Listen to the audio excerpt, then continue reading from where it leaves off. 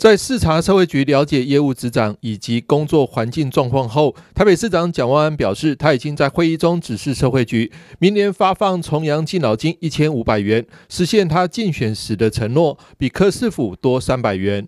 台北市议会已经通过了发放重阳敬老金的资治条例，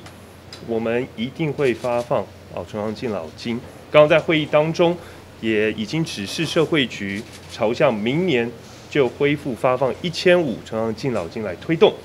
那至于发放的方式，也请社会局实际了解基层里长民众的意见，然后做完整的评估。市长，因为之前柯市长有抛出过一个公式，是按照你们的呃税计剩余去调整那个数字。那未来一千五是固定，还是说你们也会做去调整数字？基本上刚刚已经请社会局做完整的评估，我们就是朝向明年开始就恢复发放一千五重阳敬老金的方式来推动。据统计，目前台北市六十五岁以上长者有五十一万四千多人，到明年九月预估将达到五十二万余人。北市府一百一十二年编列六十二亿元作为长者重阳礼金预算，如果将重阳敬老金提高到一千五百元，相关经费将增加一点七亿元。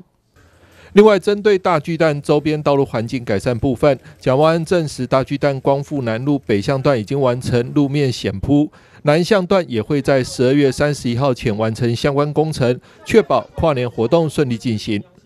我们目前了解到，就是也特别已经做了相关的指示跟规划，也就是在光复南路段，哦，大巨蛋出口出来，南向北这一段有已经完成了起铺，那北向南这一段也会在跨年前，也就是三十一号以前，哦，就会完成。起铺相关的工程，然后确保我们的跨年活动能够顺利的进行。除了路面重铺，大巨蛋主体工程外部围篱也在十二月二十九号进行退缩及拆除，将路面还给人行道，希望让跨年民众有更多空间安全散场。